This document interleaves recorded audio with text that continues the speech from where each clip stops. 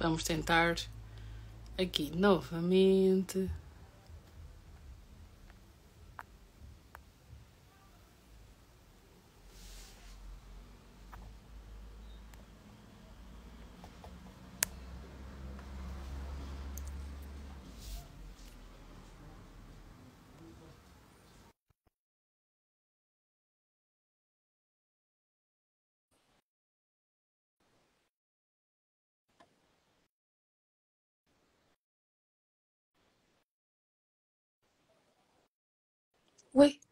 Eu não estou a conseguir. Vamos para. Ai, Oi! Já está a panicar um bocadinho. Ai, eu também estou a panicar porque a minha internet estava a falhar, gente. E a minha Então, também. yeah, Estava aqui a estabelecer um bocadinho, não estava a É entender aqui a ideia. Estás-me a ouvir bem? Estás-me a ouvir bem? Já está tudo bem, está tudo ok. Se falhar a imagem, continua a falar porque o som demora mais a falhar. Então, ainda não Ok. estamos na Mas a Guiné-Bissau, está portanto, boa? tá, tá. Então pronto, Ainda não estamos na Guiné-Bissau, portanto, ainda contamos com muita luz. Não, não, não, vá, não critiques assim a tua Guiné. Não, eu não estou a criticar, é a realidade. Pode ir à luz a qualquer momento. No meu Donas de Casa com Amor, enquanto fazíamos, a luz foi. Meu Deus do Tudo céu. bem. Yeah, Está está tudo bem. Está tudo bem. Está tudo bem. Acontece. Pedra, boa noite. Estás boa? Tudo bem? Estou boa. E tu, como é que estás? Bem, estou Vou estar aqui boa. um bocadinho, que a minha cabeça está um pouco cortada. Yeah. Acho que a minha, a minha está aqui. Tem que Não, ficar agora aqui, agora está Yeah. ótimo. Ok. Ouves-me bem? Está tudo bem? Sim, sim, tudo ok. Ok. Bem, quem não sabe, a Petra é muito corrida, mas felizmente ela está aqui na live, tá? E então vamos aproveitar ao máximo. Eu estava a falar há bocado. é, a live acredito que vai ser muito interativa, é, porque principalmente conta com muita partilha, porque é um tema que eu acho que quando nós partilhamos a coisa realmente cresce e nós conseguimos identificar muito. Então, só para contextualizar aqui, ah, nós realizamos o nosso encontrinho no dia 2 de setembro, agora no último sábado. Para quem não sabe, é um encontrinho que eu organizo para todas as meninas que me acompanham e que aceitam o convite, não é? Para fazerem parte dessa tarde, que é uma tarde de partilha, é uma tarde de conhecimento, para quem tem os seus pequenos negócios, é também para poderem divulgar os seus serviços. Cada uma das meninas recebeu presentes dessas pequenas empreendedoras, que serão grandes, que são grandes empreendedoras, enfim, são empreendedoras, não tem pequeno nem grande. E com os seus talentos presentearam cada uma das meninas que lá estavam. É o que eu estava a falar há pouco sobre os meus brincos. Isso, eu que metido os meus brincos. Sobre os meus brincos, foram feitos pela Cláudia, da Luz Creative. E infelizmente ela não pôde estar presente, mas ela não faz eh, modelos iguais. Então vocês saberão sempre que quando encontrarem alguém com um modelo parecido com este, é porque ela esteve presente no encontrinho. Então meio que ficou uma marca para todas aquelas que estiveram presentes. Tá? Uhum. O meu nome é Liliana Correia, eu sou criadora de conteúdo, empreendedora e mais umas coisas mais, casada, mãe, enfim. E o nosso tema do encontrinho era confiança, não é altivez. E eu partilhei, não é, uh, com a Petra sobre isso e sobre o post que ela tinha feito e que eu super me encaixei, onde ela falava sobre a síndrome do impostor. Quem não conhece a Petra, lá vou eu à psicologia, como é que era, organizacional, mas é coach, mestrada e mais umas coisas. Mas ela é muito top e vocês vão conhecer. Quem não conhecer hoje, depois siga a página dela, porque ela tem até uma academia, tá? É verdade, é verdade. Então, faz favor de seguir e acompanhar o trabalho da Petra para quem tem mais curiosidade e queira saber algo mais sobre ela. Porque uma pessoa apresenta, depois a pessoa não vai ver. Não pode. Pode. pode. Obrigada, obrigada. E, Petra, por onde é que tu começas a falar sobre a síndrome do impostor? Olha, posso começar a falar sobre mim. Bora! E tu depois também podes falar sobre ti, porque acho que somos ambas assim a personificação da síndrome do impostor. E hum, cada vez que falo sobre, sobre este tema, eu acabo por pesquisar mais um bocadinho. É porque é importante uma pessoa preparar-se. E teve uma frase que uma frase num artigo que eu estava a ler que para mim evidencia muito o que é o síndrome do impostor, que é quanto mais sucesso, menos confiança. Uou. E isto parece um bocadinho redundante, não Yeah. é?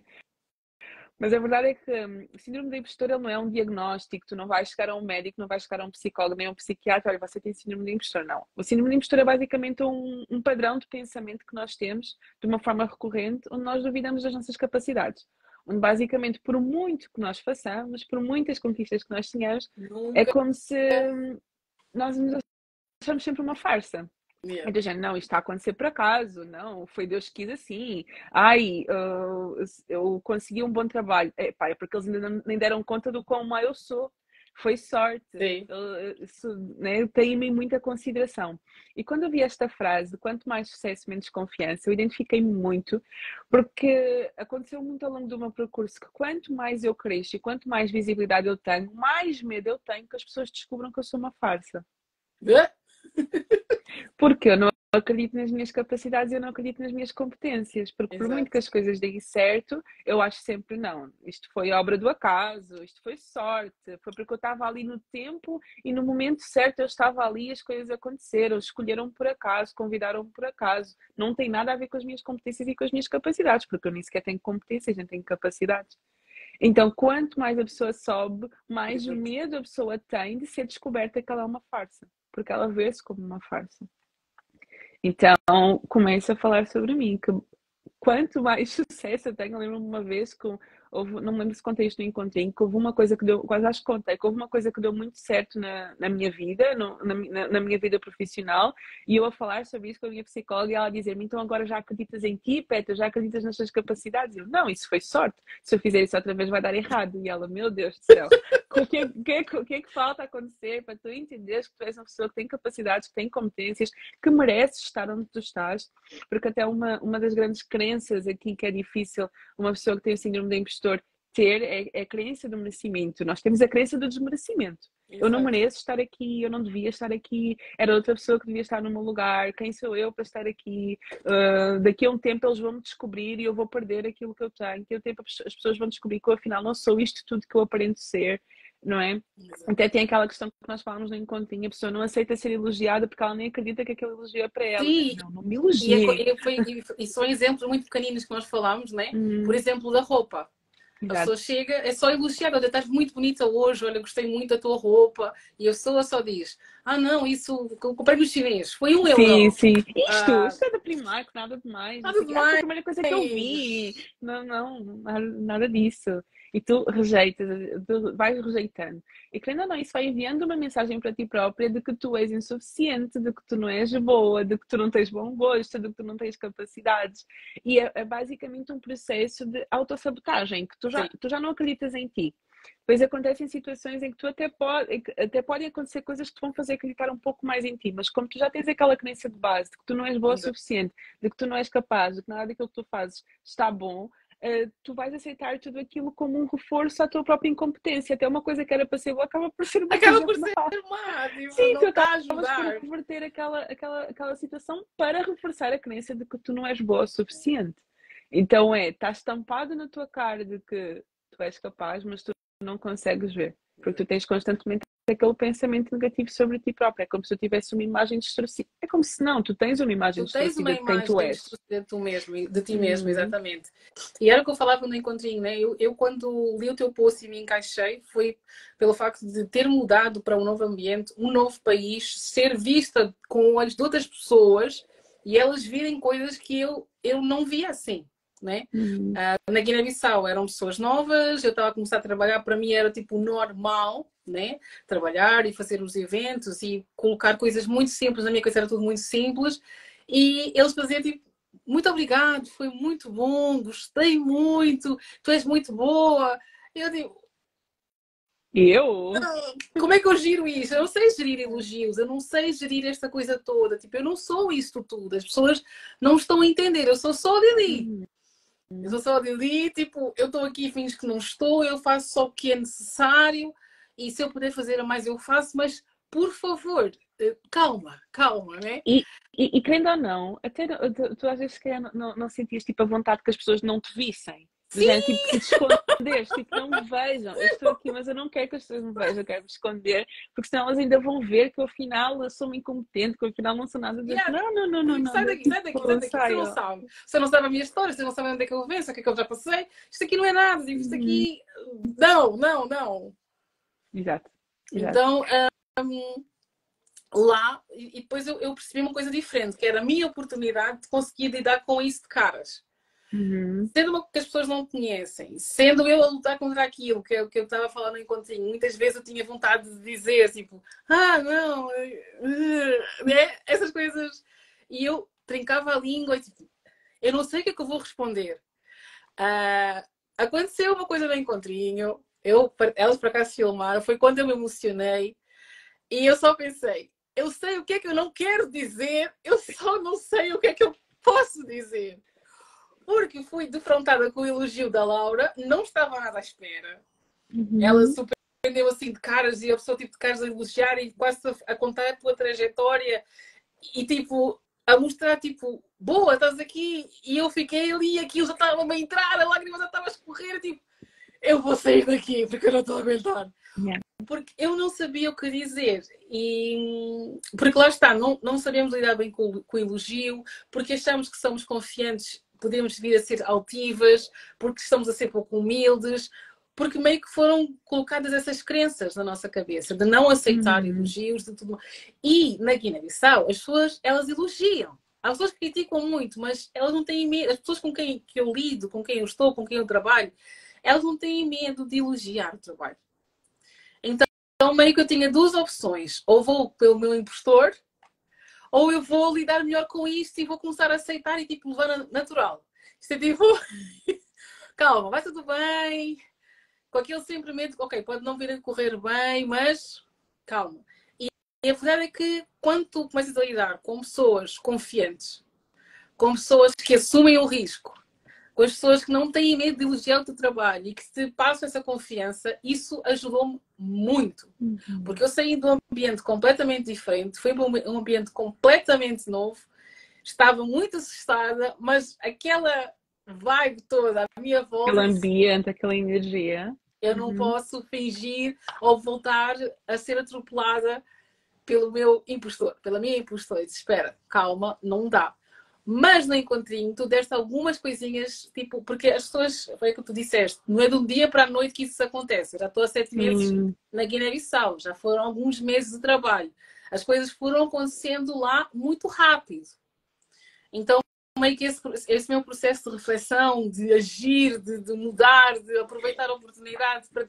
Ok, agora eu vou descarrilar e eu vou assumir isto e dizer, não, eu sou uma boa profissional, dizer várias vezes na minha cabeça, eu sou uma Sim. boa profissional. Até mesmo quando tu não acreditas, yeah. sabes? Às vezes é quando tu não acreditas. Mas tu contaste a situação que te, que te fez ver que, ok, calma, eu se calhar afinal não sou assim tão confiante como eu pensava que eu era.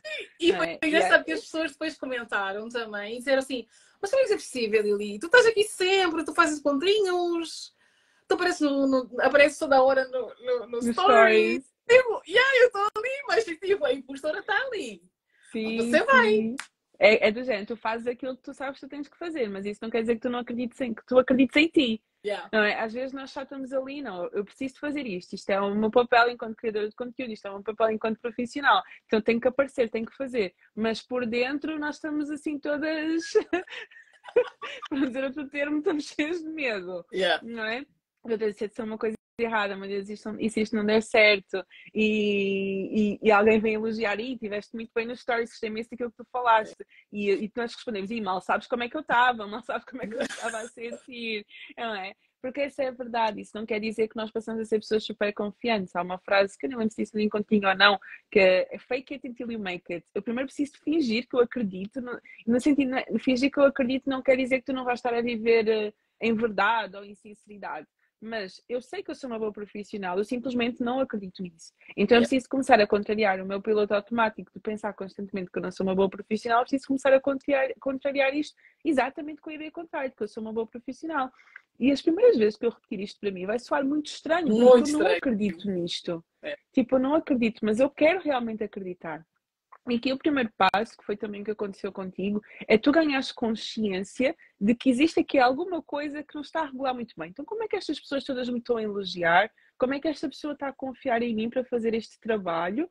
E eu não me sinto digna, ou não me sinto capaz, ou não me sinto merecedora de fazer me sinto merecedora deste convite, não me sinto merecedora desta oportunidade, não me sinto merecedora desta proposta. O síndrome do impostor acaba por estar muitas vezes ligado aqui à parte profissional mesmo. Até, e, e, e acaba, os meus estudos são, são, muito na parte profissional. Então, como okay, é que eu não me sinto okay. merecedora de, disto? Como é que eu não me sinto merecedora daquilo? E eu acabo por, por querer me esconder, por querer ficar tipo nos bastidores, porque não, isto não é para mim, isto não sou eu. Mas calma, se existem pessoas que estão a confiar em mim, por que, é que eu tenho tanta dificuldade em acreditar em mim?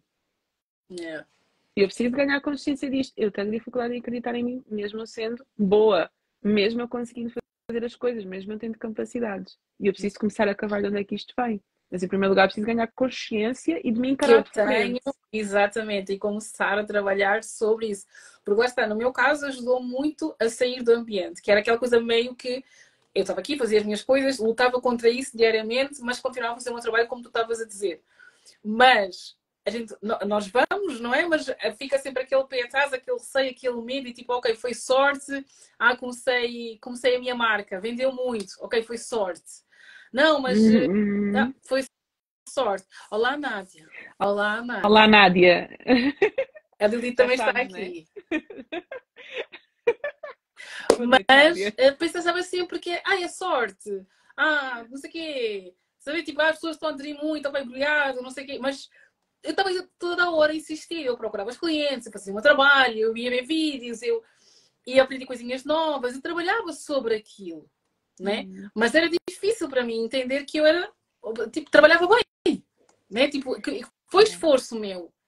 E na Guiné-Bissau eu tive essa consciência de que o fruto do trabalho que eu estava a executar lá foi o resultado de vários trabalhos que já tinha concretizado ao longo uhum. da minha vida. Uhum. E quando quando eu vi que lá estava a dar certo, porque eu não tive muito tempo a respirar, de repente já estava na televisão nacional, eu não estava a entender nada. Eu assim, estava a ajudar outras mulheres, veio a organização, depois veio os vários outros projetos. E eu fiquei, ok, eu nem tive tempo, não, não há tempo. De Diana, vai, então pedir, vamos Estás embora, vai, continua. Exatamente. Então eu vi, tipo, é como se fosse o resultado de todo um trabalho que eu estava a fazer, de querer acreditar em mim, de colocar o meu melhor no meu trabalho, de fazer o básico bem feito, uhum. uh, que às vezes as pessoas pensam que não, mas eu quero mudar, eu preciso ser mais confiante e vou fazer isto, coisas gigantescas, e é só fazer as coisas mais pequeninas, básicas, bem feitas. E no meu caso era, eu sempre me colocava numa posição anterior à pessoa. E eu não cheguei a falar no encontrinho, mas uma, uma das coisas que eu ia, que eu queria falar era sobre a imagem, não é? Muitas pessoas viram que eu mudei o meu jeito de vestir, tudo mais agora quando eu voltei. Isso também foi fruto do meu trabalho com, com a doutora. Ela me deu esse clique. Por quê? Porque lá eu vi, ok, eu não preciso de me arranjar mais, porque isso vai me parecer que eu estou a aparecer mais. Estou a aparecer muito. Então, tipo assim, eu vou continuar com a minha calça, que tipo, eu desapareço naquela calça, Uh, não gosto daquela calça, mas está tudo bem, a minha t-shirt, a minha mochila nas costas. Eu vou ficar atrás, ninguém vai ver que eu estou ali e está tudo bem. Mas a verdade agora, quando eu olho para as imagens, eu, eu posto, eu postei, não tenho medo de postar. Mas eu digo, aqui é aquela calça, aquela camisa. Eu não estou a entender. Porque eu queria que a mensagem tivesse chegado muito melhor se a minha imagem tivesse adequada. Alinhada. Exatamente, ao, ao meu discurso. Não que não deixasse de ser, mas eu pensei, na altura que eu estava lá, pensei, ah, mas eu, ok, eu faço o meu trabalho, já consideram isto bem, então eu posso continuar a fazer o meu trabalho sem ter que aparecer muito. Então, se eu continuar com esta roupa, é está tudo bem. E qual é que era o problema de aparecer? Já. Yeah. Pai. Não dá. Era muita exposição. Mas, atenção, eu já apareço todos os dias aqui. Uhum. Mas era outra coisa, aquilo já era outro nível. E se eu continuasse aquela minha roupa, está tudo bem, ninguém entender de onde é que eu vim, eu estava ali, tipo, sou assistente da Tita, está tudo bem, ninguém vai olhar para mim. Mas a verdade é que quando a, a, a Teresa ela deu um toque e ajudou-me e tudo mais, eu tinha 1500 desculpas para não cuidar da imagem. Perdi peso, não tenho roupa que me sirva, uh, não sei vestir no calor, aqui não está tanto calor, portanto sabes muito bem vestir daqui, tens as lojas que precisas aqui, lá também tens. Enfim, gerou-se ali uma onda de, de eu apagar aquelas desculpas todas e começar realmente a aparecer e começar realmente a dar a cara. E foi outra forma de eu conseguir trabalhar essa minha outra parte que não tinha sido trabalhada lá em Bissau, que eu consegui trabalhar aqui. E foi tão interessante porque, ok, eu tinha roupa, eu já tinha confiança. Faltava roupa, já tinha roupa, já estava tudo conjugado. Agora faltava meter a cara nos clientes. Agora faltava aparecer, faltava que é o que dá mais aparecer medo. com as pessoas. Uhum. E foi tão interessante porque depois eu consegui perceber eh, eu pedia, por exemplo, no restaurante que eu faço a gestão das redes, houve um, os primeiros dias eu pedia, ah, posso tirar fotografia? Não. Ok. Já, já fui, já fui. Quando eu mudei o estilo, quando eu comecei a cuidar da imagem, quando as coisas começaram a mudar, a adesão era tipo, puf, posso tirar uma fotografia? Uhum. É como tu, sabes como tu disseste no encontrinho, né? Tipo assim, parece que você era falsa, mas eu preciso fazer isto. Sim. Depois vai ficar natural. Exato. Fake it until you make it. Exatamente. Isto está a parecer super estranho, porque eu não, não quero falar com essas pessoas desconhecidas. Vou estar a pedir uma coisa que eu já sei de certeza que elas vão dizer que não, que não querem aparecer, que não querem tirar fotos. Uhum. Mas eu vou. Exatamente, e, e, e, esse processo aí de fake it until you make it, lá está, ele dura pouco tempo, mas é, tu sabes que tu precisas de fazer aquilo e tu sabes que tu precisas de sentir mais confiante. Então, às vezes, tu até precisas de fingir que tu és super confiante só para tu conseguires encarar aquele desafio. Aquele desafio vai dar certo e aquilo vai reforçar o teu, a, a tua, o teu senso de capacidade, do género, uau, eu consegui fazer isto. Eu consegui ultrapassar isto. Então é do é género. Tu é tipo, fazes e depois. Faz, depois desmontas. Depois, tipo, depois desmontas-te toda, mas tu fazes. Tu vais lá, dás a cara e fazes. E é sempre assim, num desafio novo. Quando nós estamos assim de zona de conforto, como aconteceu contigo em várias situações na Guiné, em, em N situações, tu naquele momento, ok, vem um desafio. Síndrome de impostor, qual é que é piloto automático? É, não, não, não vais aceitar tu não podes aparecer, tu não podes fazer porque tu não tens capacidade para fazer isso. Quem és tu para, fazer isso? Tu vais te engasgar, vais te enganar, vai dar errado, vais cair, vais, sei lá, fazer o quê? Isso vai dar tudo errado. Então nem vale a pena tu aceitar.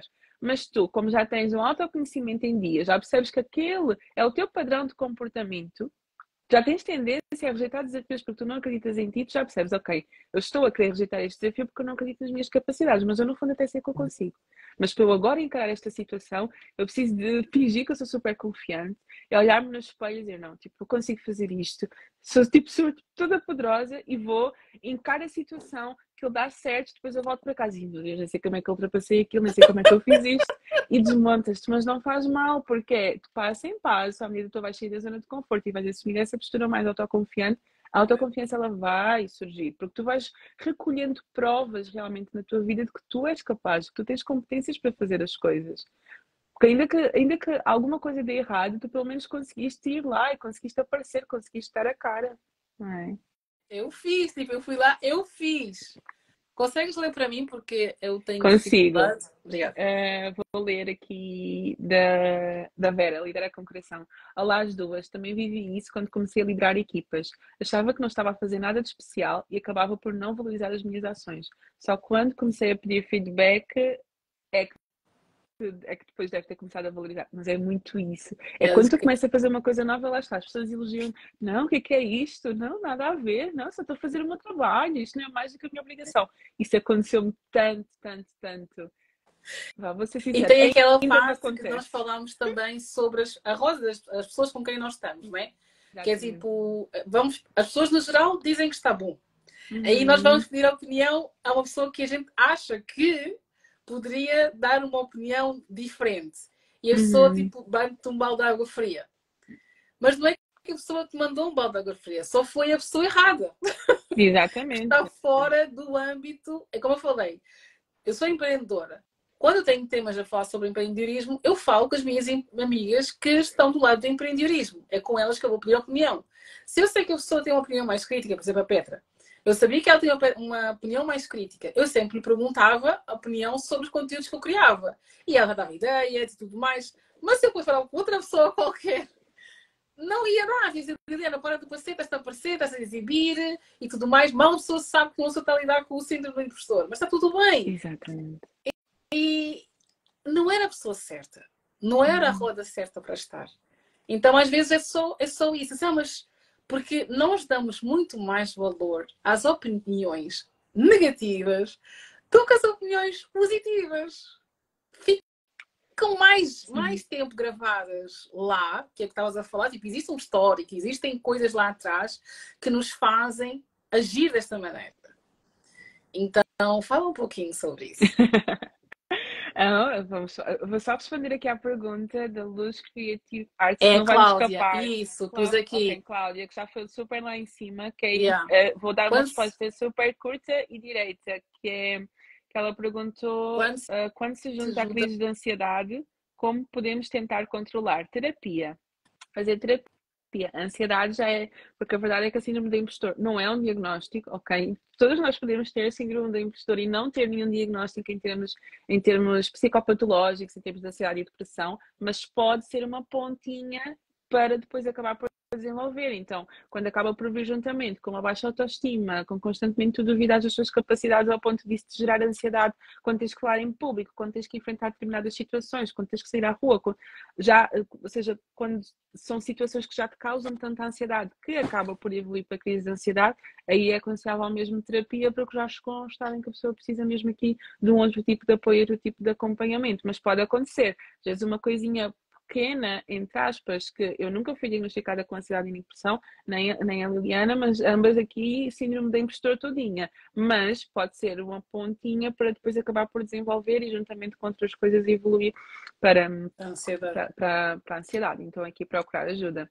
Mas relativamente à tua pergunta, esta questão de nós hoje em dia, enquanto adultos, duvidarmos de nós, não é do nada. Pode vir uma coisa lá de trás de, da nossa infância, de algum tipo de educação que nós tivemos, ou alguma educação que era assim mais exigente e que nos fazia constantemente pensar que nós já éramos boas o suficientes, ou até uma educação que hum, era muito pelo elogio, que a pessoa só era elogiada quando fazia alguma coisa bem, então a pessoa acaba por ficar, não, então só quando eu faço alguma coisa bem é que eu sou alguma coisa de jeito. Então, tanto um extremo como o outro, do género, não elogiar nada porque nunca estava o suficiente, ou até elogiar, mas simplesmente pelos resultados que a criança tem, que o adolescente tem, podem aqui acabar por desenvolver o síndrome do impostor.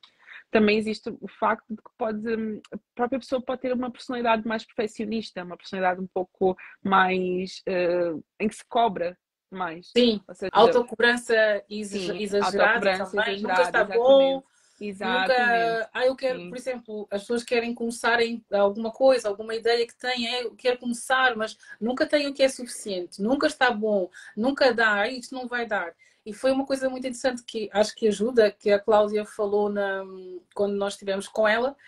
Eu não coloquei essa parte porque eu vou criar uma série depois de, de empreendedorismo, aproveitando os cortes muito bons que eu tenho dela e também da Gabriela e da, da Teresa, em que ela falava: Eu só vendo o peixe que eu como. Se eu não como, eu não vou vender. Não se trata de perfeccionismo, não se trata de tipo, está tudo ali. Não. Está feito, está bem feito, está feito com amor. Eu compraria, então eu vou mandar. Se eu não compraria, então acho que é um bom termo de, de bom, qualidade para boa, quem bom, é muito bom perfeccionista. É. Uhum. A, a, Fabiana colocou aqui, sinceramente, em miúda desvalorizava-me porque os meus pais me humilhavam em frente a toda a gente. Não sabia reconhecer as minhas capacidades, ouvia muito a voz exterior. Agora vais ter mesmo que ler os comentários, porque eu deixei de ver os comentários. É...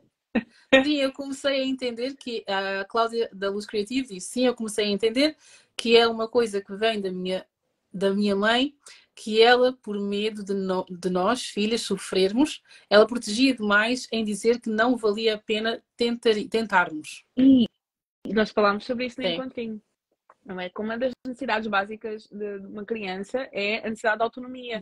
A criança ela precisa de espaço para ir, para tentar andar, para cair, para levantar, precisa de espaço para tomar as suas decisões e as suas decisões erradas, precisa de espaço para no verão sair com botas e casaco grande, ela precisa de espaço para tomar as suas decisões e depois ver, hum, se calhar não era não por aqui. Mas a criança não correu bem. Se calhar ela, a criança precisa de autonomia, o adolescente precisa de autonomia. Quando ele não tem esta necessidade básica uh, cumprida, acaba por desenvolver aqui um padrão de que até não consegue tomar decisões, não consegue fazer escolhas sozinhos, acaba, acaba por estar muito dependente do que, é que as outras pessoas pensam sobre ele. Então, sim, sim. Por isso é que é muito importante aqui a parte do autoconhecimento, que não é só eu perceber e ter consciência das dificuldades que eu tenho e dos padrões de comportamento e pensamento que eu tenho, mas também de perceber de onde é que isto vem, ok? E aqui eu vou reforçar aquilo que eu disse no encontrinho. Não estou a culpar nem pai nem mãe, ok? Estou a culpar os pais, agora a culpa é tudo é dos pais. Não, porque eu também disse que pode ser também um, um, a própria personalidade da pessoa Sim. ser uma pessoa que desde criança, nós conhecemos crianças que às vezes são muito exigentes com elas próprias. E às vezes pode ser um padrão da personalidade da pessoa, ser muito perfeccionista, ser muito exigente com ela mesma.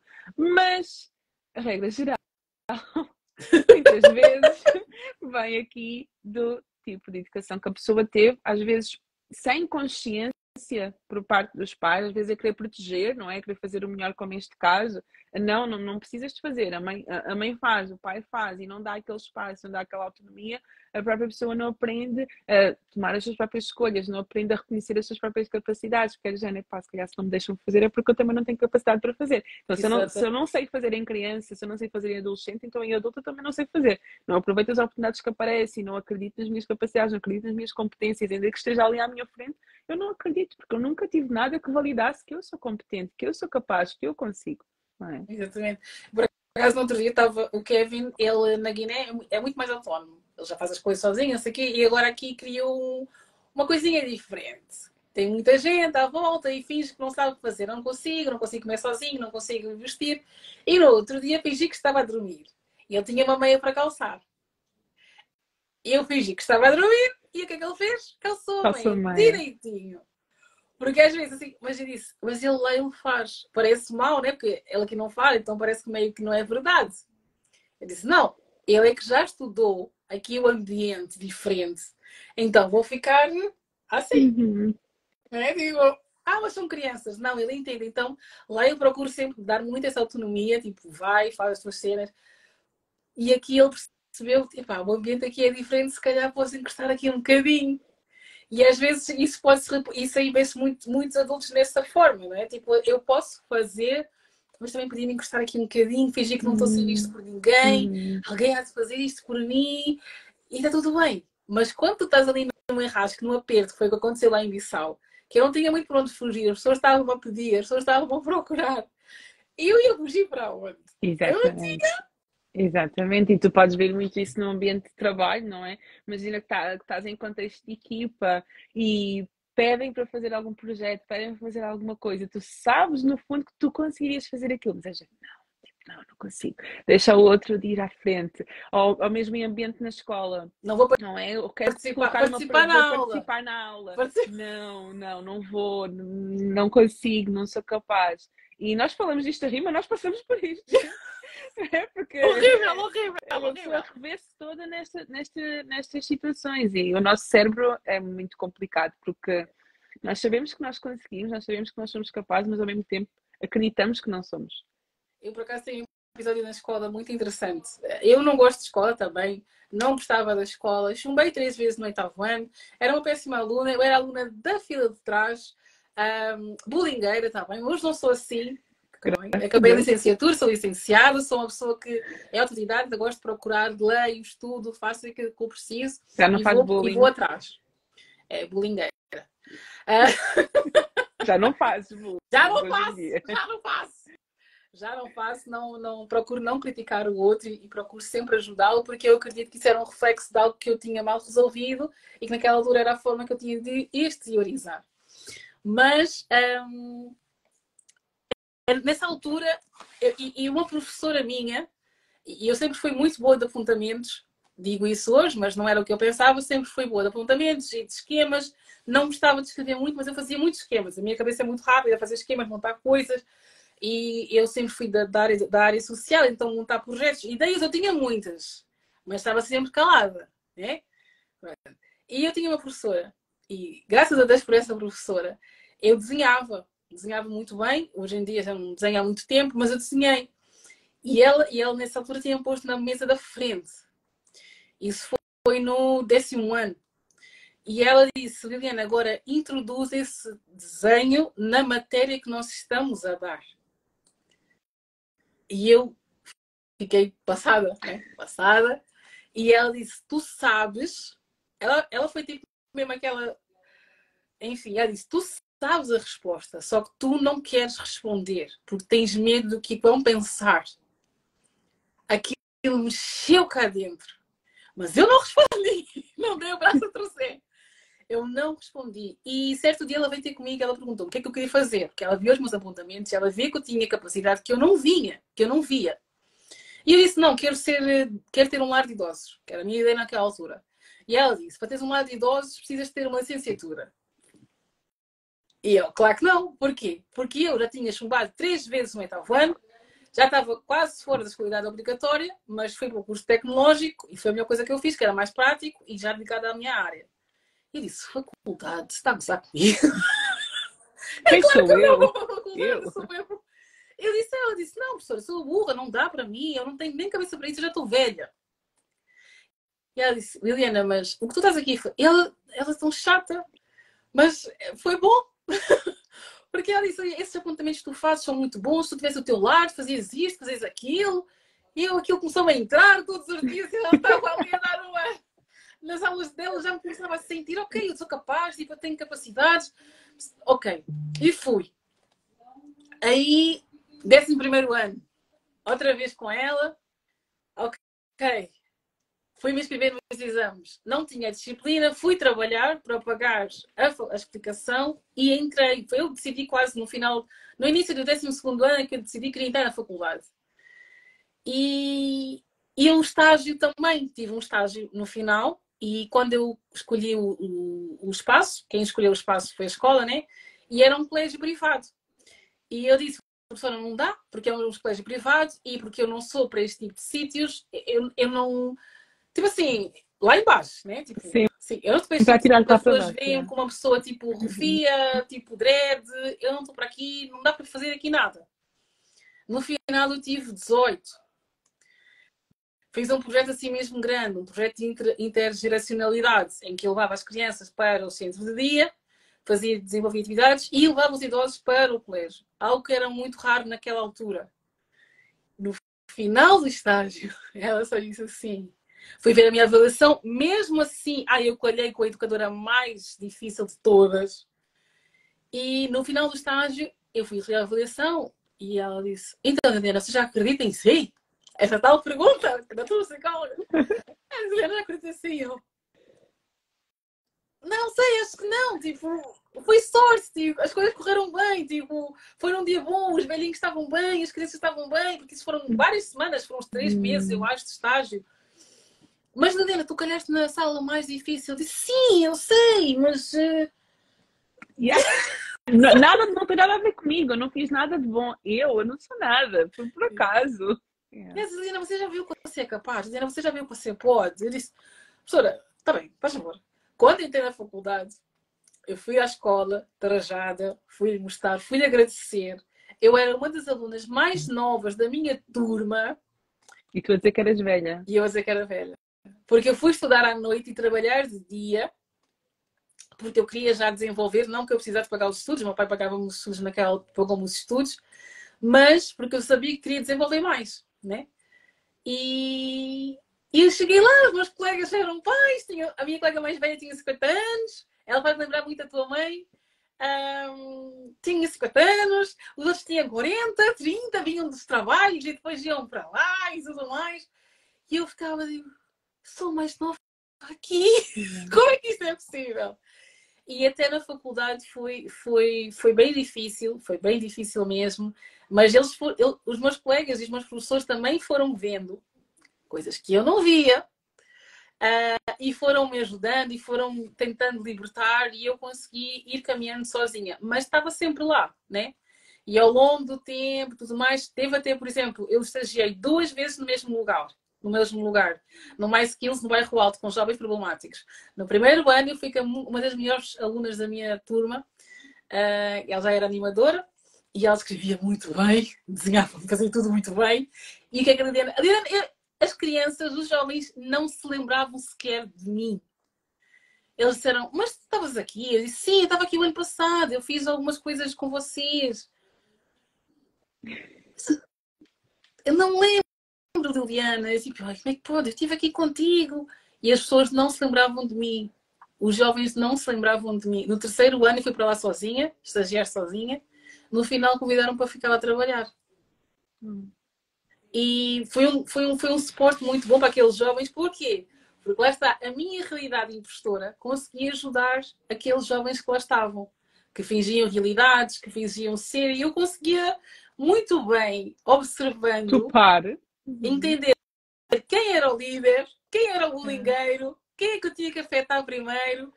E, e eu tinha um objetivo, que era aquele filme das, das mentes, crimino, mentes criminosas, eu acho que é o Gangster Paradise. Ok. Thank you.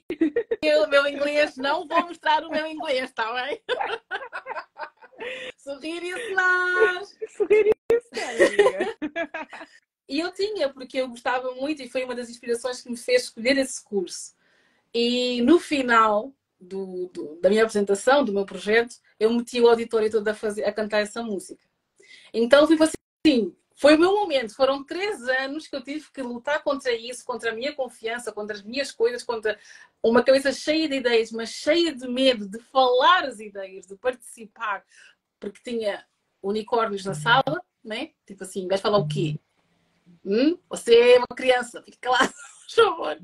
Mas eu fui, fui, fui, fui, fui gerindo isso e fui, fui, fui procurando formas, mas agora que dei-me conta em Bissau, tipo assim, deste de caras com uma coisa diferente, então agora vai. E eu vi essa parte da confiança não ser altivez, que também foi uma das coisas que eu sempre me escondi, que era o assumir que eu era confi que eu, que eu podia ser confiante. E assumir que eu, tu és boa, ah, e assumir que não, eu sou boa, não, eu sei fazer um bom trabalho, sem parecer que eu estou a ser altiva, altiva. e tipo um... Enfim, mas eu queria que tu falasses também sobre algumas das estratégias que tu falaste no encontrinho de pessoas que têm síndrome de impostor e que te ajudam e, e, te, e têm, têm te ajudado também a criar e colocar o impostor no seu devido lugar. Eu vou começar pela primeira que tu narraste aqui agora, que é tu andares com pessoas que acreditam mais em ti do que tu acreditas em ti. Isso fez uma diferença enorme no meu processo. Tu precisas andar com pessoas que veem em ti aquilo que tu ainda não vês. Exato. Porque são essas pessoas que te vão motivar e que te vão impulsionar a fazer coisas que tu sozinha não tens coragem de fazer, mas que tu vais ser obrigada a fazer. E teve muitas vezes, ao longo da minha própria caminhada, caminhar com mentores e tudo mais. Tem uma que marcou muito a minha vida, que foi uma das, eh, das minhas primeiras quando eu comecei aqui no digital. Ela dizia, Petra, tu vais fazer isto. E eu disse, mas acho que eu não consigo. Ela dizia, não, não interessa, tu vais fazer isto até X data. E eu ia lá e fazia só porque ela acreditava que eu era capaz de fazer, não porque eu era, não porque eu acreditava que eu era capaz de fazer. Mas essa motivação e esse andar com pessoas que viam além daquilo que eu via, fizeram-me sair da minha zona de conforto, fizeram-me fazer coisas diferentes e eu comecei a acreditar em mim gradualmente. Então é preciso nós andarmos com pessoas que acreditam mais em nós do que nós acreditamos em nós e não com pessoas que nos rebaixam. Não como, como tu ao estavas a dizer. Às vezes não é, não, não é que tu estás a fazer a coisa errada, às vezes simplesmente estás com as pessoas erradas ao teu lado. É então, diferente. Então, é diferente. Então tu precisas procurar os ambientes certos que te vão ajudar a te ultrapassar. Andar com pessoas que acreditam mais em ti do que tu acreditas em ti. Andar com pessoas mais confiantes do que tu, porque nós tendemos um, a ser influenciados pelas pessoas que estão à nossa volta, né? Somos o resultado das cinco pessoas mais, mais próximas de nós.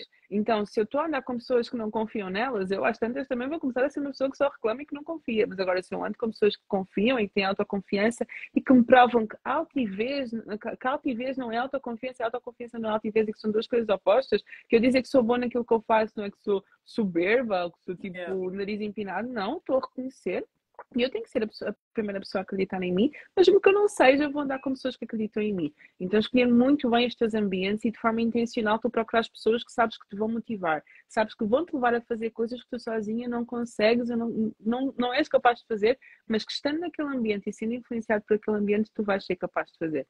E depois é muito também ganharmos consciência dos nossos próprios pensamentos e questionarmos.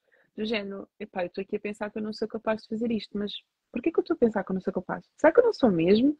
Deixa-me olhar, até falar isto em contínuo, olhar para tudo aquilo que eu já fiz até agora, tudo aquilo que eu já superei até agora, todos os passos que eu já dei até agora na minha vida, para perceber se eu realmente não sou capaz de aceitar este desafio, se eu realmente não sou capaz de dar este passo, de aceitar esta oportunidade, de ultrapassar este medo. E assim, o medo ele vai sempre surgir. Se ele não surgir, é porque alguma coisa está de errado contigo. Sim. Okay?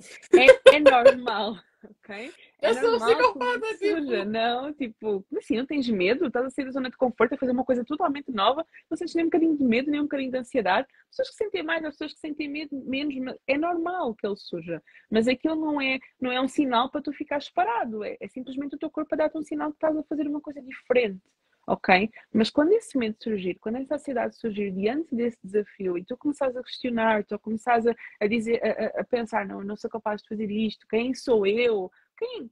Por, por que não tu? Não é? Tantas vezes perguntando, ah, quem sou eu para fazer isto? Por que não eu?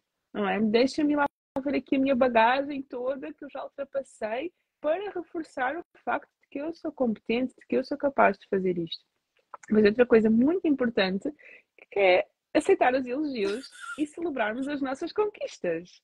Okay? Uh, e celebrar mesmo, sabes? Tirar assim uma vez por mês, uma vez por semana, para celebrar aquilo que tu conseguiste fazer, os passos que tu deste. Eu faço muito isto com as minhas clientes, principalmente agora estamos a entrar numa fase em, no, nos últimos três meses, três, quatro meses do ano, e eu tenho feito muitos exercícios, tipo, olha lá onde é que tu estavas há um ano atrás, onde é que tu estavas em janeiro, tu fizeste isto, fizeste aquilo, fizeste aquilo outro, ultrapassaste.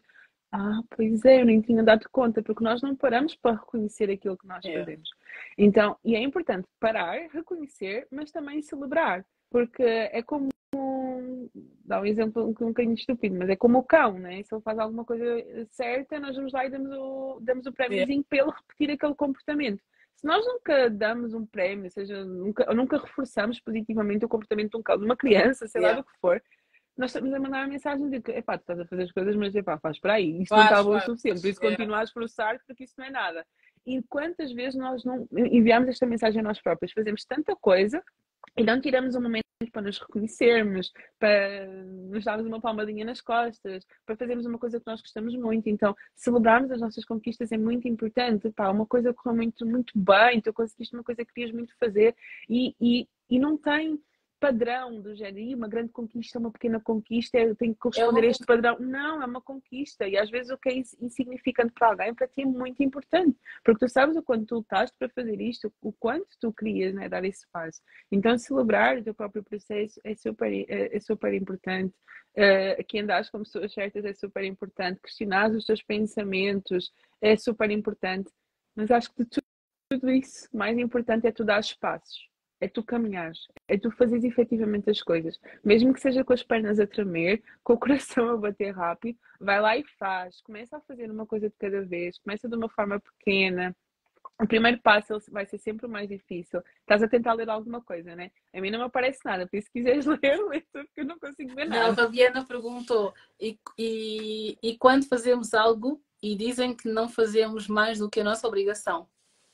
Tu achas que não estás a fazer mais do que a tua obrigação? Porque uma coisa é o que a outra pessoa diz, outra coisa é aquilo que eu acho. Tem uma frase aqui maravilhosa, vais-te lembrar porque eu não me lembro, mas que ela falou em uma das lives que ela fez na página dela, que era aquela das pessoas. Ah, aquela, aquela, aquela. A Fabiana sabe. Se tu soubesse o quão rápido as pessoas se vão esquecer de ti quando tu morreres, não deixarias de fazer tanta coisa com medo do que as pessoas vão pensar. Então, ainda que outra pessoa diga, ah, tu não estás a fazer mais do que a tua obrigação. Tu sabes aquilo que tu fizeste. Tu sabes aquilo que é a tua obrigação e tu sabes que tu fizeste além. Mas normalmente na síndrome da impostura nós pensamos exatamente o contrário. Nós fazemos além, além, além e somos nós que pensamos que não fizemos mais do que a nossa yeah. obrigação. Não tens noção. Eu, faço, eu, eu, eu, acredito que eu faço muita coisa. Sou pessoa dinâmica e tudo mais, uh, na minha forma de empreender e estar no digital. Então, hoje em dia eu já consigo perceber que, que eu faço um bocadinho além do que aquilo que eu, que eu poderia fazer. Mas antigamente não. Tipo, eu com dois trabalhos e eu a fazer não sei quantas lives, a fazer consultas, mentoria para cima e para baixo sem parar. E, e diziam-me, Petra, tu, como é que como é que estás com isso? Não, isto para mim é básico, não estou a fazer mais do que a minha obrigação. A partir do momento que eu me comprometo, tenho que estar aqui. Para mim era básico, eu não estava a fazer mais do que a minha obrigação. E isso enviava o sinal para mim própria de que Yeah. não estás a Não fazer estás a nada, tu estás a fazer tu nada. estás a fazer nada, tu já estás a fazer muito e tu não estás a fazer nada. Isso o quê? Traz uma autocobrança, um esforço ex- excessivo, tipo, tu já fizeste bem, mas tu tens que continuar a fazer porque ainda não está bom, ainda não está bom, ainda não está bom. Causa o quê? Burnout, Yeah. Sim, exaustão, Sim, sobrecarga. sim, tem aquele muito Hum. que é. Eu preciso fazer, trabalhar muito para, para poder, eh, tipo, ganhar mais, mas não, é tipo um trabalho feito, bem feito, com qualidade, com confiança, vai te Hum. deixar tranquila e não ansiosa para conseguir fazer mais, mais, mais, mais, mais, mais. Exatamente. Não, tipo, Fica, fizeste bem, está bem feito. Uhum. Porque senão, por exemplo, eu, eu senti isso neste encontrinho, que é tipo, eu fiz o encontrinho e eu falei que esse no encontrinho passado eu não tive essa sensação de tarefa cumprida, ficou ali algo por fazer que eu não fiz, não tive confiança suficiente para fazer na altura. E neste encontrinho já fui, já fui determinado, eu já fui com essa visão que, independentemente daquilo, eu sabia o que é que eu ia dizer, eu sabia o que é que eu queria falar e não ia medir esforço para chegar até lá, por mais difícil que me fosse. E, e isso houve- e houve esse, esse reflexivo, ok, eu fiz o que era necessário, a, a minha semana anterior ao encontrinho foi bem tranquila, eu procurei fazer tudo direitinho, eu estava sozinha trabalhando as coisas, a Jéssica me ajudou bastante, mas eu pedia-lhe coisas, mas de repente já, já tinha feito, disse, olha, já me precisas fazer, já fiz, mas eu podia fazer. Já tratei, eu tive aqui um tempo, tive aqui um buraco, tive aqui uma folgazinha, eu consegui fazer. E eu ia fazendo as coisas tranquila, não fiquei com aquela correria, aquela ansiedade. Não, eu estava decidida naquilo que eu queria fazer. E, e é tão interessante que é como se fosse o resultado, o fruto daquilo que eu absorvi lá, daquilo que eu já tinha trabalhado cá, e era o meu momento de, de mostrar isso, sabes? Uhum. Tipo, era o meu momento. Então eu estava a trabalhar por aquele dia, eu estava a trabalhar para quem ia estar lá e eu estava a querer mostrar, olha, eu consegui. Eu não sou uma impostora. Eu recuso-me a ser uma impostora. Então vocês também têm que recusar ser uma impostora. Então foi muito interessante agora quando as pessoas me perguntam, eu já estou quase a ir embora, faltam poucos dias para me ir embora, e as pessoas dizem, ah, mas eh, eu encontrei a Gabriela por acaso estes dias, assim, mas tu estiveste aqui sete meses. Eu disse, não, não tive sete meses, eu tive sete meses em Bissau, um mês e meio em Portugal e já estou a voltar. É assim, para mim, mas tu já fizeste tanta coisa. Eu assim, é, pois, mas foi só Tá. um mês e meio. Já vinhas só- com a tipo assim, mentalidade um já mais preparada. Exatamente. Porque eu já estava preparada e porque eu, eu decidi não dar ouvidos àquela voz impressora que eu tinha ah, sempre dado ouvidos, que era o que eu disse lá no encontrinho. Quando eu pensei que eu vinha para Portugal, eu sabia que tinha que fazer dinheiro, eu não via férias, eu tinha assuntos para resolver, tinha pendências para resolver. O meu espírito empreendedor sabia que tinha alguma coisa para fazer. Eu liguei para a minha mãe para, para, para passar ferro, fazer limpezas. A minha coisa era pensar, vou pedir à minha amiga que abriu o restaurante para lavar a louça, porque são coisas confortáveis para mim. E eu sei fazer e sei fazê-las bem e está tudo bem. E, era onde eu, tipo, não tenho que lidar com pessoas, não tenho que confrontar com nada, ninguém tem. Tipo assim, estás a ver? Mas tipo, eu pensei melhor, isso eu já aprendi tanto aqui em Bissau. Eu tenho capacidades. Eu tenho capacidades. Eu sei fazer bem. Então eu vou arriscar. Foi quando eu vim, tipo, eu já vim com uma energia completamente diferente, já vim para, para mostrar, para dar a conhecer os meus trabalhos, os meus serviços, as coisas que eu tinha aprendido lá e trazer para ajudar outras pessoas e foi bem aceito. Foi mais trabalhoso, foi mais trabalhoso, foi mais, mais desafiante, foi, porque eu sabia que ia trabalhar com pessoas muito exigentes e isso assusta-me, né? Meio que foge quando sabemos que a pessoa é muito exigente. Mas eu sabia que estava à altura. E era o que tu dizias. Ok, custa. Yeah, vais à casa de bem, como tu disseste lá no encontrinho. Eu sou capaz, eu sou capaz, eu sou capaz. Exatamente. Faço a minha oração, Deus ajuda-me, direciona-me, dá-me sabedoria. Vou... E foi aí que eu entendi verdadeiramente a frase que eu escrevo, que é eu coloco o pé, Deus coloca o chão e é esse o meu passo de fé. Então essa minha trajetória e esse meu um mês e meio que eu tive aqui, tipo, era a minha praia. Era o meu momento. E eu achei tão lindo como é que foi tudo tão encaixado no encontrinho, este tema, como é que veio encaixar também com outras pessoas, porque é uma coisa que se vive muito sozinha, né? Nós não falamos muito sobre essas Nós temos até medo de dizer que nós pensamos isto sobre nós, porque, meu Deus, se eu, até, e, até aquela, aquela parte inicial que eu estava a dizer, quanto mais sucesso tu tens, menos confiança tu sentes. Imagina que as coisas começam a correr bem para ti, tu começas a ter conquistas, até parece mal tu dizeres que tu não és uma pessoa confiante. Como assim que não és uma pessoa confiante? Ah, o que estás a fazer? É assim, Sim, as pessoas perguntaram confiante. muito, tipo assim, é. como assim, Lili? Tipo, tu? É. Yeah, tipo, eu! Uhum. e, que, e que incentivo outras, e que vou, e lanço-as, e façam, e, e porque eu sei que é que custa, eu sei que custa, mas eu sei que eu preciso fazer, eu sei que preciso, não posso calar a minha voz e eu sei que sou resultado de tudo aquilo que eu passei lá atrás e nada aconteceu por acaso. Então eu não posso me calar, não posso deixar de ser calada simplesmente porque aquela vozinha lá atrás está-me a dizer que eu inventei ou que é, é reflexo das coisas que me disseram lá atrás ou que é a minha personalidade que me faz isso, que eu tenho que dar ouvidos. Tipo, eu não quero. Lá, lá, lá, lá, lá, lá. Se não quer. E acho que isso é uma mensagem importante passar, porque é uma escolha eu acreditar. Nós temos sempre duas vozes. Em que, em que voz é que eu escolho acreditar? Ainda que seja super baixinha, tu tens aí dentro de ti uma voz que diz: Ok, é possível. É que eu, consegues, és capaz. Bolha e tipo assim, uma voz de fundo, mas ela está aí. Eu preciso de escolher, eu preciso perceber, calma, eu estou aqui, eu quero ir para ali. Qual é que é a voz que me vai ajudar a ir para ali? Qual é que é a ação que me vai ajudar a eu ir para ali? Ok, é esta, mas eu tenho medo. Eu não estou a conseguir. Procura ajuda, procura um ambiente, procura terapia, procura pessoas que te podem ajudar, procura um ambiente certo para tu estar, mas tu sabes que tu precisas dar esse passo, então procura a forma de tu gerir.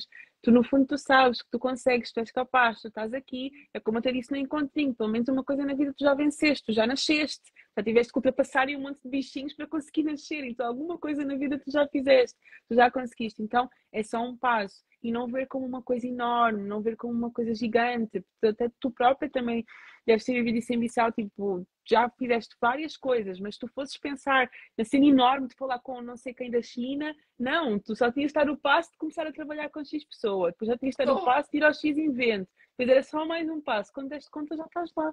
Então é não pensar na escada toda, pensar um passo de cada vez. Então o que é que eu posso fazer hoje para contrariar aqui um bocadinho esta voz constante que me diz que eu não sou capaz, que eu não consigo. O que é que eu posso fazer depois da manhã? O que é que eu posso fazer depois depois da manhã? Tu vais passinho a passinho e tu vais conseguir confiar mais em ti, juntando todas estas estratégias, desde autoconhecimento, a estás com as pessoas certas, a tu começares a dar um passo de cada vez, a tu começares a reconhecer tudo aquilo que tu já fizeste até hoje.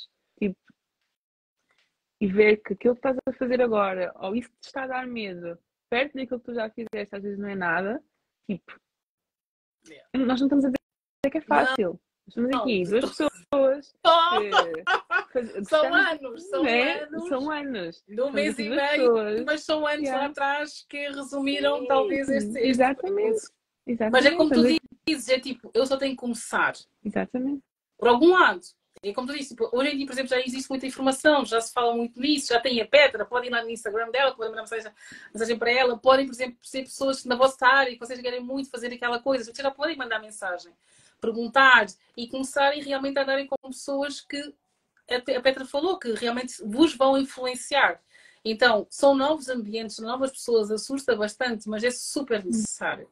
É aquele medo inicial, vizinho da barriga, pessoas novas, pessoas diferentes, mas é a minha oportunidade de querer ser aquilo que eu quero realmente ser.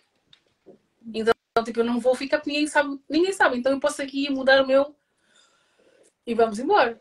Ah, então, eu eu não sei quanto tempo é que fica a live, mas já são 22 e 2. Ela não cai. Ok, tá bem. Ah, ok, obrigada. mas pronto, então eu queria abrir aqui para perguntas. Quem quiser fazer perguntas, aproveita aqui o espacinho agora para fazer perguntas. E entretanto, quando ficamos à espera das perguntas, Petra, quero saber a tua opinião sobre o encontrinho. Ah, eu acho que foi. Tu que já foste em 550 mil eventos, faz favor. 550 550 mil. Não, olha, falando em 550 mil eventos, já fui a muitos eventos, mas eu gosto muito destes ambientes mais intimistas. Porque tu vais a um evento às vezes com lá, 100 pessoas e não sei o quê, e estás ali tipo, tens alguém no palco, mas é diferente. Porque aqui consegues chegar muito é. mais às pessoas. Eu gosto muito de eventos, sim, mas também gosto muito destas, destas sessões, destes encontros assim mais, mais íntimos, em que tu realmente consegues ir partilhando, porque eu acho que a maior riqueza de tudo está na partilha. E acho que as partilhas, tipo, depois as participações, e, e foi como tu disseste, foi fluindo de uma maneira super natural, foi se encaixando. Eu vou-te ser sincera, eu não sabia o que, é que eu ia falar. Eh, eu não sabia, não fazia a mínima ideia do que, é que eu ia falar. Pronto, vamos. Eu, isto também depois acaba por vir com confiança, porque se calhar se fosse há uns dois anos atrás eu ia ter que estudar uma tese inteira para ir, mas não, pá, está aqui dentro. Eu, eu sei falar sobre este tema. Falar tá disto, eu sei é isto, eu tenho essa experiência. Estás a ver? Então, se o meu marido não está a assistir à live. Ok, voltou. Vou-te ligar. Olha, o teu marido está-te a ligar. Isso é a dica de que ele não está mesmo a assistir à live. Não está a assistir. o que eu estava a dizer. Eu, eu fui lá e, ok, o que tiver que sair, vai sair. E as coisas foram fluindo, foram encaixando, aquilo que ias falando, as participações que iam fazendo. Então, acho que foi uma coisa super fluida e muito rica em termos de partilha, em termos de aprendizagem. Por isso, quem não participou deste encontro, participe do próximo, porque a riqueza está mesmo nas partilhas e no quando nós podemos aprender umas com as outras. Yeah. E é o que eu falo, é a partilha prospera, porque às vezes eu estou a partilhar a minha fragilidade e falámos um dia sobre isso, sobre aquela a Brunet, uh, Brunet, né? Brunet. Uh, Brené Brown. Brené Brown. E ela fala, existe um documentário na Netflix que é muito interessante sobre ela, uh, e que ela fala sobre a necessidade de se, de se mostrar frágil e quem, quem, quem se mostra vulneráveis. e vulnerável está a mostrar coragem também. E às vezes eu sinto isso. Eu acho que quanto mais eu falo sobre a minha vulnerabilidade, as minhas dificuldades, como me é difícil, mais as pessoas se identificam. E às vezes as pessoas têm muito medo e receio de mostrar o lado feio. É feio dizer que eu tenho sido um impostor, é feio dizer que eu não acredito em mim. Mas quando eu estou num ambiente em que as pessoas tipo, começam a falar e começam. Teve algumas né, como eu mostrei, mandaram mensagem e elas disseram: não falei nada, eu não disse nada, mas eu estava a processar tudo e eu preciso começar por algum lado. Então acho que agora é só mesmo explorar os frutos, porque acho que quando existe essa partilha, a pessoa sente-se à vontade, a pessoa sente-se confortável, a pessoa quer falar porque não se sente um, um, bichinho, não se sente uma pessoa tipo feia. É tipo assim, ai, sou eu que sou feia. Estranha. Não, todo mundo, yeah, todo mundo tem as suas feiuras, entre aspas, todo mundo tem as suas partes estranhas. Só que as pessoas gostam de mascará-las e fingirem que não as têm. Mas quando eu os assumo, de facto, e que eu tenho isto e que eu me exponho uh, no ambiente certo e com as pessoas certas, eu realmente consigo essa ajuda. Porque às vezes está também aí o erro, como tu falas, eu, as pessoas, é como eu falo, né? as pessoas erradas. Às vezes a pessoa não está no ambiente certo, não fala com as pessoas certas, então isso também não ajuda em nada. Tipo, não vem para ajudar, só atrapalha e atrapalha ainda mais. Então, é isso. Tem aqui umas pessoas que estão aqui. A Teresa. Olá, Teresa. Está a gostar da live? Muito bem. Tem aqui o, o Mário G. Cunha. E ele disse: Petra, tu és super necessário e sou grato por te ter na, no meu networking e amiga. Ah, muito ai, bem! Isto é muito importante. Aqui, live, live, super necessária, muito bem. Tens que fazer mais, Lili. Ai, para com isso, porque senão fica chateado. Vou ficar chateado. Tu não pensa. Olha, tu não, não pensa. Tem que ser comigo. Olha, aqui a Teresa também. Vou fazer uma live com a Teresa. Tu não pensa em mim. Olha, que eu já me juntei às duas, eu quero fazer. Foi Bora. que eu falava, que é, é, é, por acaso não comentei isso com a Teresa, mas eu acho que já comentei algum dia aquela coisa que as pessoas falam muito que, ah, Liliana, tu és muito resolvida, né? Tipo, tens as coisas muito arrumadinhas. E era o que eu falava, tipo, as minhas amizades são super estratégicas. Eu tenho a Teresa que cuida do meu corpo e me entende e, me, e ensina-me que eu tenho esta dor e que tenho este sinal e que eu devo estar atenta a isto e aquilo que eu como e tudo mais. Depois tenho a mente, que é a Petra, que eu estou aí para a missão. Petra, faz favor. Yeah, foi mesmo uns dias isso. Se eu não aguentar, por favor, só me atende, só consulta. E foi muito bom, porque quando eu fui para lá, foi na época de Natal, foi quando fizeste aquele curso, lembras-te? Ah, sim, de definir objetivos com propósito. Yeah. Exatamente. Então eu dizia, tenho dificuldade em criar objetivos, Petra, neste momento, porque não sei para onde é que eu vou. Uhum. Um, não sei o que é que me espera, não conheço, é um ambiente totalmente novo, mas eu sei aquilo que eu não quero.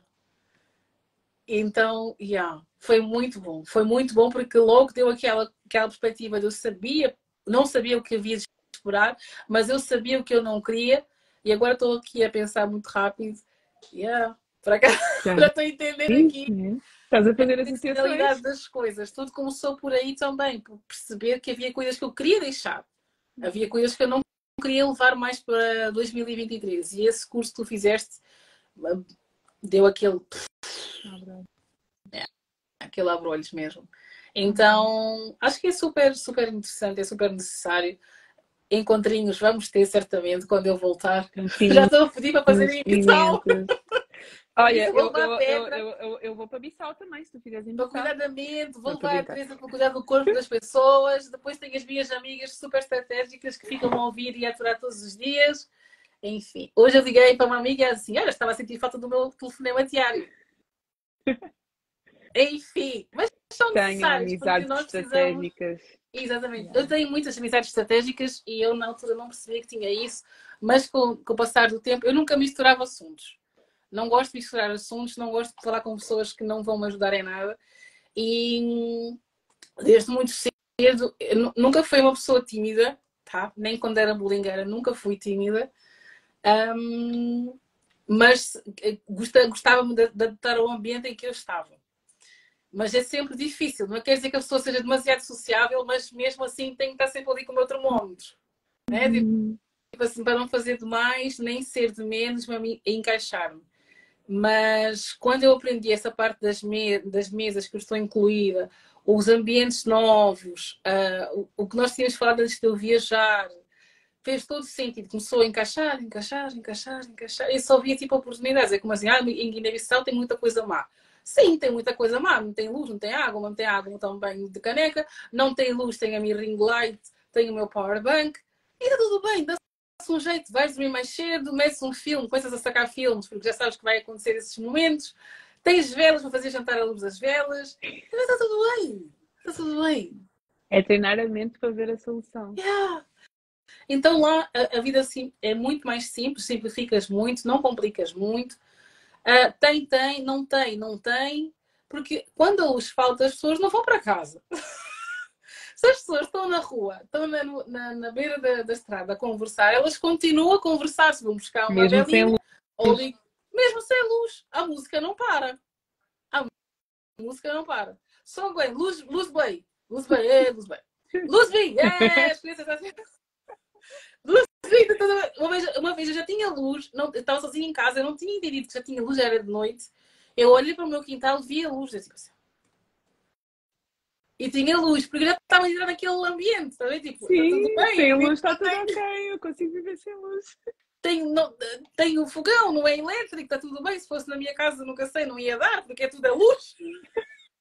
E aqui tenho gás, está tudo bem. Não tenho esquentador, não precisa de esquentador. Não precisa.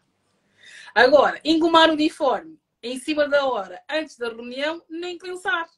Você tem que engomar a sua roupa na véspera, porque na hora pode não ter luz. Então há certos Isso educa, como tu dizes. Acho que é, é- acho que é, é as, duas, as duas palavras que resumem tudo. África educa. Educa. Educa e não é pouco. Hum, deixa cá ver, acho que não tem perguntinhas, também foram, foram falando, a Fabiana está sempre aqui. Obrigada, Fabiana! Ah, coisas pequeninas que aprendemos a, a- a valorizar. E é isso, amiga. Queres falar alguma coisa? Não, gente. Olha, tu podes só dar aqui um lamirezinho à tua academia, por favor? Ai, claro que posso. Neste... Sim, posso, posso. Então, eu fundei a minha Purpose Academy.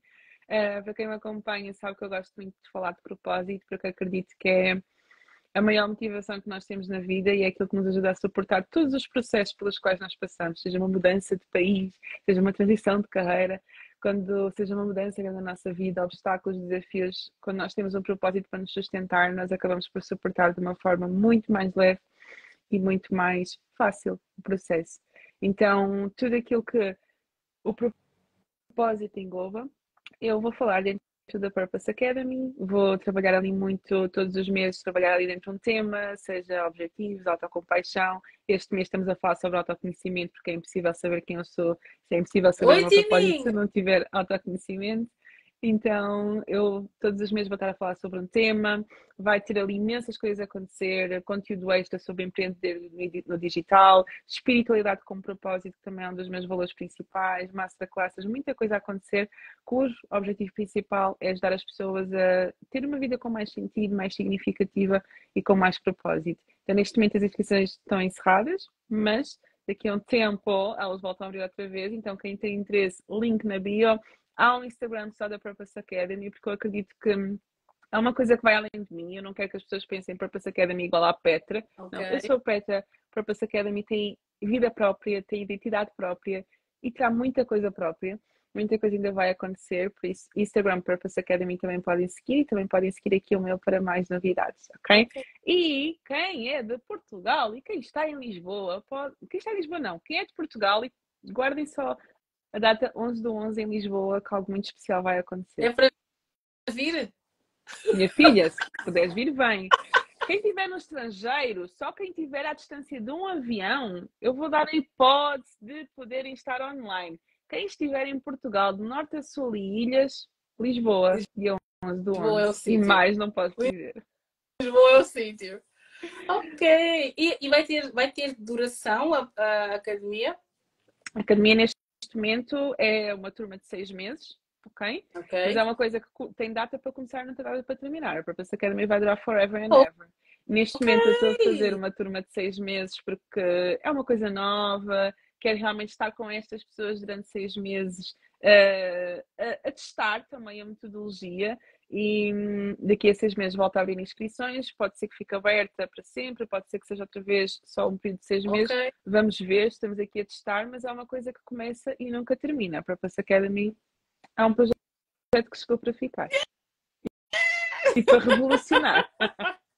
Veio para ficar, revolucionar, porque agora tenho uma academia, adoro, adoro, adoro, adoro, adoro.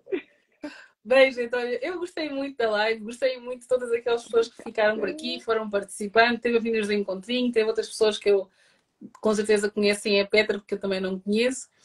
E, e foi muito bom estarem por aqui. Acho que a live é essa coisa é leve, é tipo é uma coisa para a noite, vamos só desanuviar em vez de estar a ver e a assistir a conteúdos que não lembram a ninguém. Vamos falar de coisas boas, vamos falar de superação, Tininho, estou com saudades, já estou a voltar, tá?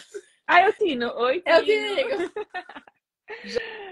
já, já, Guiné-Bissau vai, como eu digo, vou voltar para a minha terra e já está. Petra, queres dizer alguma coisa? Saudações finais? Obrigada, Lili, pelo convite. Mais uma vez, lá super descontraída, super útil e é sempre bom trocar umas ideias contigo. Que venham mais lives e a todas as pessoas que estão desse lado, se tiveres que guardar alguma coisa do que nós falamos hoje, é dar o passo e Deus, a vida, o universo, o que tu acreditares, vai colocar no chão. Então começa passo a passo, passo a passo e vais ver que a confiança ela vai fluindo. Tu consegues perceber onde é que tu estás agora, para onde é que tu queres ir e tu sabes que precisas dar passos diferentes. Então começa um passo de cada vez e confia no processo. Obrigada, gente. Obrigada. Tchau, amiga. Beijinhos. Vai ficar guardada, tá? Podem partilhar.